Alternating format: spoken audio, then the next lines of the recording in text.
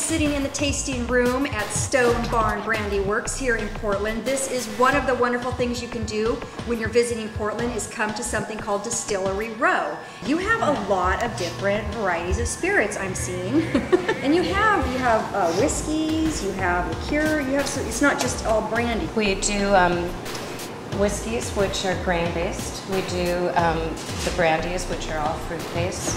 The apricot is, we try to keep things on the tart side in general. Ooh, that's yummy. Yeah. On Distillery Row, you guys have these passports. Yes. Um, how do you get one? So they're available at every distillery and they enable you to have a waived tasting fee. And then there are some vendor, local vendor discounts, everything from restaurants to clothing stores. Nice. Well, thank you so much. I Thank wanted to ask you. I know Sebastian's over there working hard on the distillery, distilling equipment. Yeah. Um, and uh, so is he, what is he doing right now? What is So, it? uh, he is making a batch of um, apple brandy right now. We wash the apples, crush them, and then bucket it into here. So it takes about 500 pounds, and it takes about a month to ferment the apples.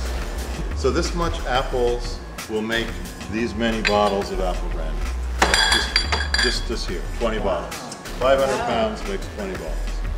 The mash we'll put in here. We run the mash, we're going to heat it, and the alcohol vapor is going to rise up out of there and go through an obstacle course here, and then ultimately come back down on that side. And so the entire run takes about five hours. About 150 liters, that's 40 gallons, and we'll get out in terms of usable alcohol, well, you see it right there. We're just about at the end of the run. It's not too much, but it's 160 proof. Well, it's been really fun Yeah. stopping by here at our Thank first you. stop at our distillery tour. We're going to continue following our passport and hit the other four distilleries. And I just wanted to thank you for being part of our Oregon Lifestyle Show and our distillery tour. Okay, so I'm standing here with Dave, who's um, a pedicab driver. Is that what you call this, pedicab? Yep, PDX Pedicab. Yeah, we run uh, distillery row tours. Uh, we have about four different distilleries that we can go to depending on day and time.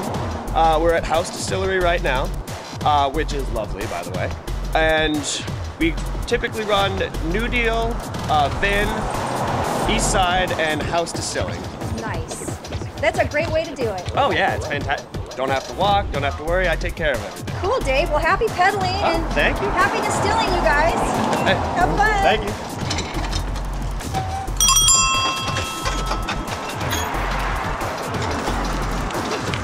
All right, so I am here with Rochelle Thorpe here at House Spirits on Distillery Row.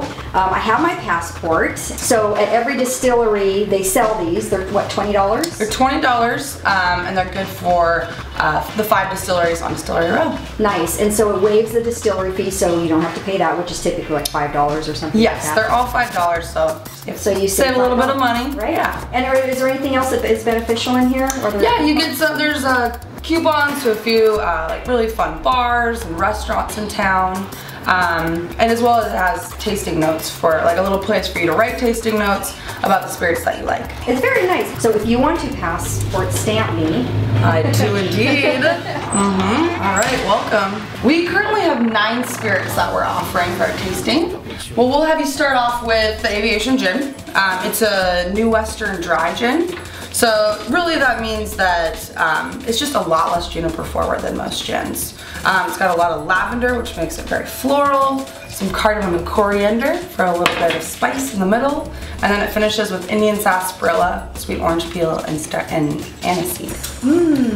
I can see where that's going around the world. That's Mm-hmm. very lovely. For our rum, we use all Barbados molasses. We double pot distill it and then age it for six months in our used whiskey barrels.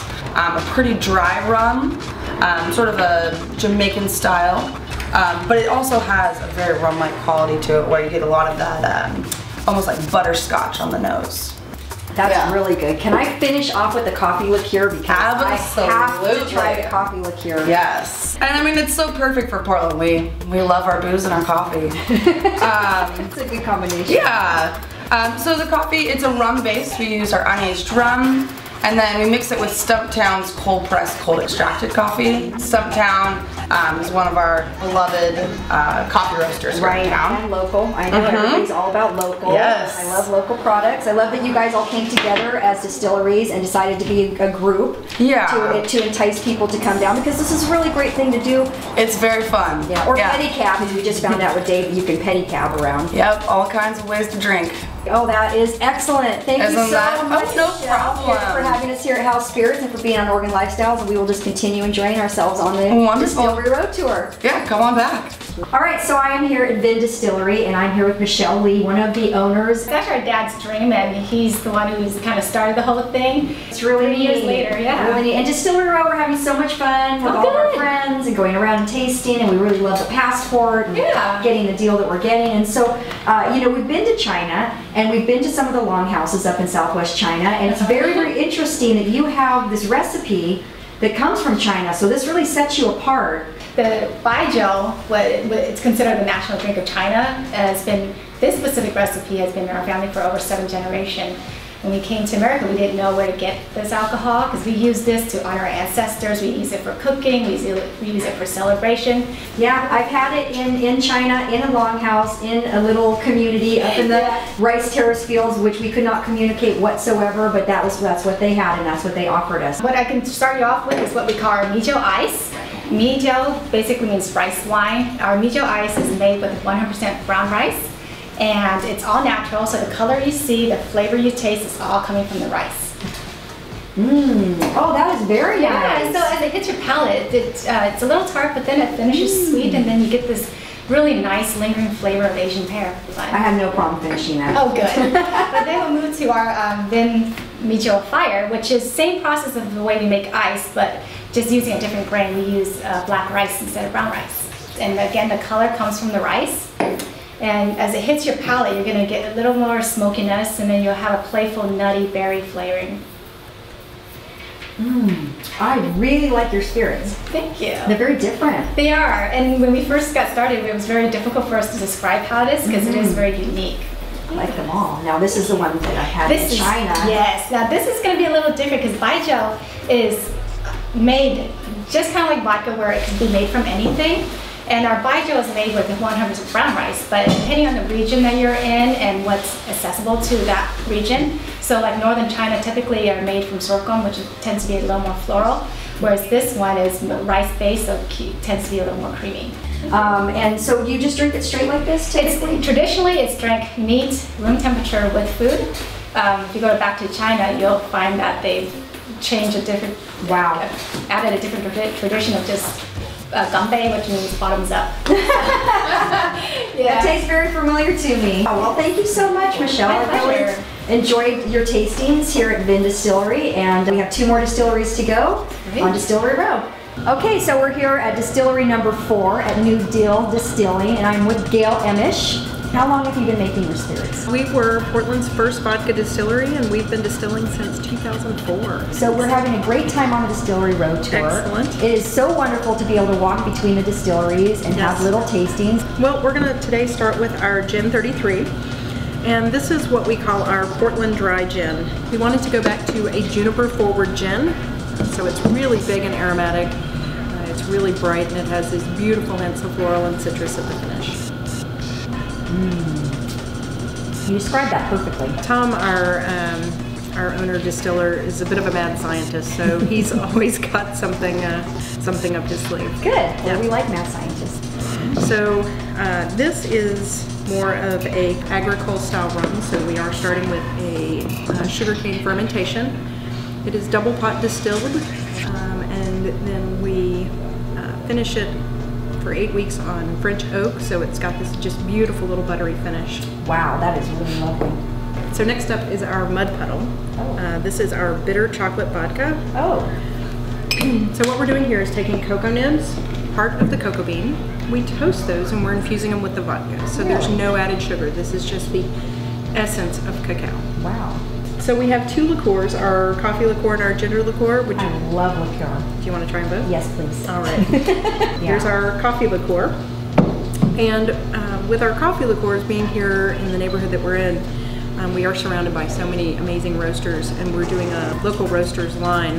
So um, this, we start with a cold press brew.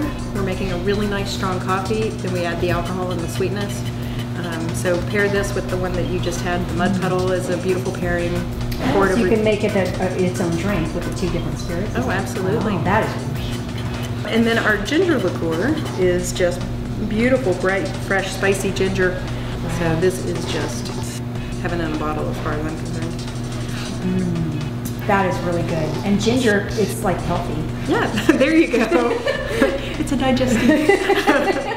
It calms your stomach. It makes you happy. Thank you, Gail at New Deal Distilling, to have us here and be on Oregon Lifestyles. And we're very excited about Distillery Row. All right, we're leaving New Deal Distillery now, and uh, we're getting ready to go to the last distillery, which is Eastside Distilling.